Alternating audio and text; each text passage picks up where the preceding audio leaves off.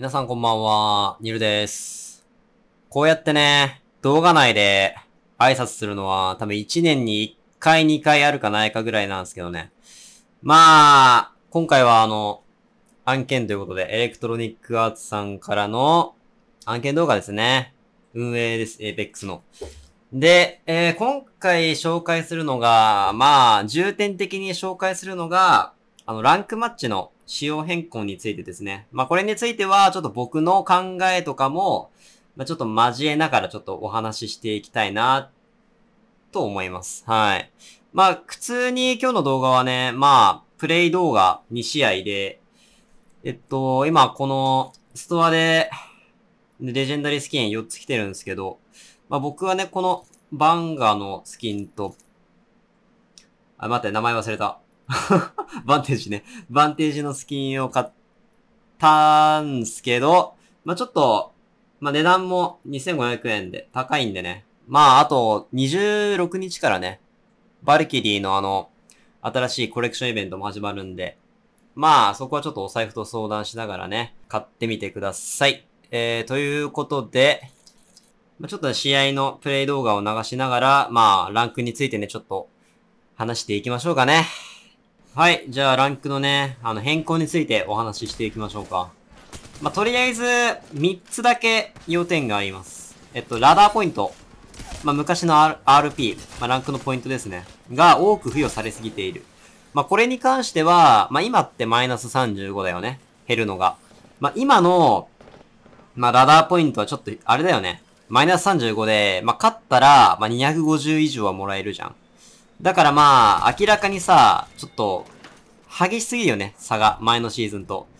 まあだから、まあ、なんていうかね、この、多分マイナス35は変わらないのかな？あと、ダイヤ以上は変わるらしいんですけど、プラチナまでは多分マイナス35なのかな？これを見た感じ。で、プラスポイント。だから今、250じゃないですか、チャンピオン取ったら。らそれが、まあ、125とか、まあ、な、まあ、75とか。まあ、それぐらいにならないと逆にマイナス35だから、採算取れないよね、多分。まあ、だからここは、ま、修正しますよ、と。まあ、これはね、ちょっと僕も来シーズンになってみないとわからないですね。はい、続いて不具合。この不具合っていうのは、まあ、要はあの、バランス調整です。あの、マッチシステム、あの、なんていうの？スキルマッチ。スキルマッチが、まあ、あまり機能しなくなってますよってことなんですよ。まあ、だからこそ、今ちょっとランクマッチのね、なんていうか、今ね、僕ね、あのこれ別に誇張してないんですけど、ガチでカジュアルより弱いか、カジュアルと同じぐらいの敵の強さです、本当に。まあ、カジュアルの敵も強いんだけどね。だからここはまあ調整しますよ、と。えー、そして今後の変更点。えー、シーズン18では、ランクマッチの調整と、安定性の向上に注力します。一度立ち止まり、より細かく調整し、より競争の激しいランクシステムを用意するために必要な時間を取りたいと思います。まあ、これはまあ、ゆっくりと、まあ、ゆっくりとね、あの、ひと、あの、一つ一つ問題を解決していって、まあ、より良いものにしますよってことですかね。うん。はい。ということで、ボーナス。え、ボーナスは、えっと、あれです。あのー、1位を取ったら今250ポイントで、ボーナスポイント今0ポイントの人が多分めちゃくちゃ多いと思います。まあ、これについては、なんで0ポイントなのかは、まあ、そのマッチメイキングレート。まあ、あのーなんていうかまあ、スキルマッチですね。スキルマッチがちょっとうまく作用しなくて、まあ、ボーナスポイントがちょっとゼロになってると。まあ、なので、まあ、ちょっと次のシーズンからは、まあ、キル、ちゃんとキルをしたら、あの、キルポが入るようにするみたいですね。今ってキルしても、まあ、ゼロポイントじゃないですか。まあ、なんで今って、すごい、もうキルする必要がないんですよね、今のランク。まあ、僕たまに20キルとか30キルとかして、プラス、それでもプラス70ぐらいしか入らないんで、ここはちょっとまあ、必要なところですよね、改善は。で、まあ、ランク分布。まあ、ランク分布は、もう、マスターね、今どれぐらいなんだろう。この間100万人超えて、まあ多分最終的には150万人ぐらいなのかなマスター到達する人が。150万人って、Apex の、まあ、4、4分の1なのかな今のアクティブユーザーの。4分の1が3分の 1? がマスターってことになるから、まあ、これは本当にやばいよね。マスターってまあ、まあ言うなれば一つのゴールなわけですよ。まあプレデターはさ、まあやっぱり時間がないと無理じゃないですか。だからみんなの、まあ結局目標ってマスターなんですよ、基本的には。マスター行ったらもうゴールだ、みたいなね。だからそのゴールがすごく今シーズンは簡単だったから、まあユーザーの離脱率もまあ増えちゃったし、まあランクをね、プレイする人も減っちゃったし。まあ、なのでね、ここはね、なんか、当に俺は難しくしてほしいと思う、ランクは。ランクに関しては、簡単よりクソ難しい方がマジで楽しい。難しすぎるのもなんか楽しくないよっていう人もいるかもしれないですけど、まあ、逆にやっぱりこう、なんていうかね、マスターを目標にしてる人からしたら、まあやっぱりずっとね、マスターを追いかけて、こうた、あの、到達した時の達成感がさ、やっぱりすごいと思うから、僕はね、やっぱり難しい方が好きですね、ランクマッチは。あと、これは載ってないんだけど、あのね、ソロプレイヤーにもちょっと、なんか、救いが欲しい。まあ、僕基本ね、あのー、ソロでカジュアルとかやってるんですけど、まあ、ランクはさすがにフルパーティー組むけど、まやっぱりなんかソロランク専用のさ、サーバーとか欲しくない？絶対欲しいよね。俺はだからソロランクのサーバーがマジで欲しくて、これはね、ちょっとね、あの、この動画を経てちょっと届いてほしいですね。もうちょっとなんか野良に救いが欲しい。うん。で、まあ結局その、エーペックスって、まあなんていうか、一番エーペックスの面白いところって終盤戦じゃないですか。多分多分みんなもわかると思うけど、あの終盤戦のすごい緊張感、もう張り詰めたようなさ、あの、もう3す組みたいな感じの、もう緊張感がまあ一番楽しいじゃないですか。あれが。まあだから、まそれを増やすために、まあいろいろとま努力するみたいですね。うん。えー、リングのタイミングを調整してゲーム中の接触を増やす。まあ、これ、まあ、具体的には書いてないんだけど、まあ、僕なりの解釈は、多分最初のリングが早くなります。今って多分5分4分だよね。まあ、それが例えば3分になって、で、ラウンド2の時間が、ま、長くなったりね。ラウンド2が、まあ、ちょっとあの、僕も定かではないんですけど、まあ、ラウンド2が例えば3分だったり4分になったり。で、ラウンド3が、4、なんか2分から4分、3分になったりみたいな。だから最初を、こう早くして、まあ、こうみんなが移動し終わって、ちょっと戦闘が多く発生するところの、あの、時間を増やすと、まあ、僕は思ってます、これ。まあ、なんでこれはね、いい、あれなんじゃないかな。調整なんじゃないかな。リングのタイミングは。あまりにも遅いとね、なんていうか、ずっと漁って、減りも早くてみたいなね、感じになっちゃうんで、で、リングダメージを調整して、リング内でのプレイを促す。まあ、これは、まあ皆さんね、あの嫌いだと思うんだけど、リングのダメージが痛くなります。まあ、僕も嫌いです。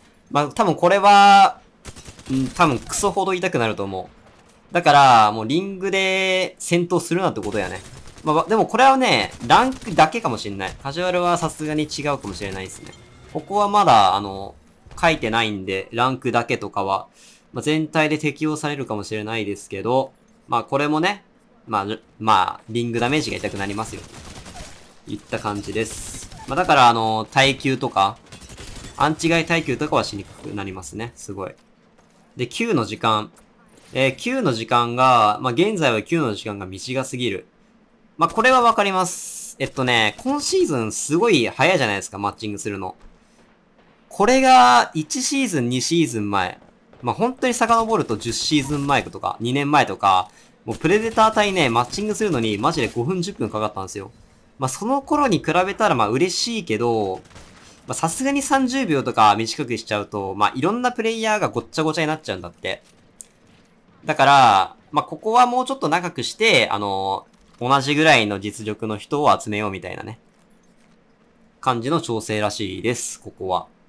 で、まあ、最終的なえー、要点ですね、最終的な。えランク分布の全体的な変化に対抗するため、マッチごとの LP 獲得量を全体的に減少させる。これは最初に話したよね。えダイヤモンド以上にのみ適用されるルールを追加することで、ランクのトップを適切に抑える。まあ、ダイヤ以上は難しくなります。はい。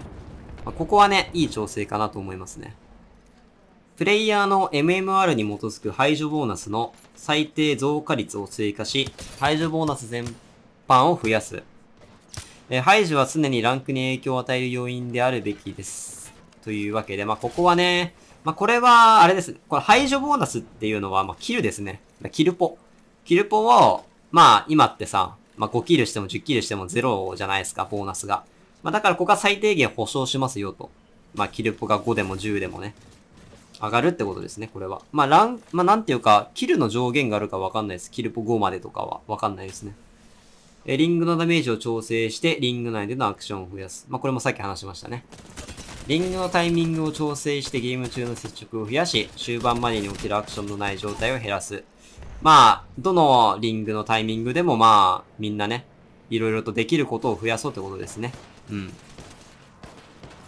えー、マッチメイキングをアップデートし、MMR に積極的に挑戦しているプレイヤーに対しての対処をより適切に行うことで、現在のランキングを反映した競争力のあり、やりがいのあるマッチを実現する。まあ、これはスキルマッチですね。スキルマッチちゃんとやりますよってことですね。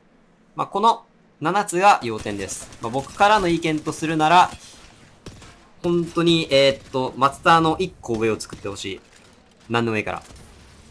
で、あと、野良のマッチを増やしてほしい。野良マッチ。やっぱりエイペックスね、ソロにね、厳しすぎるんだよね。一人の人に厳しすぎる、エイペックスは。だからこそ、まあ、この二つは、俺が一番、まあ、もっとあるんだけど、一番望んでるもの。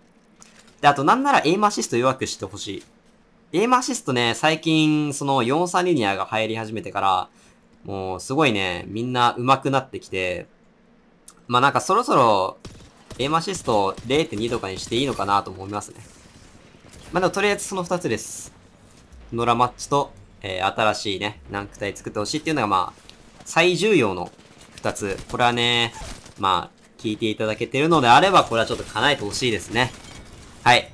ということで、今回の動画は以上となります。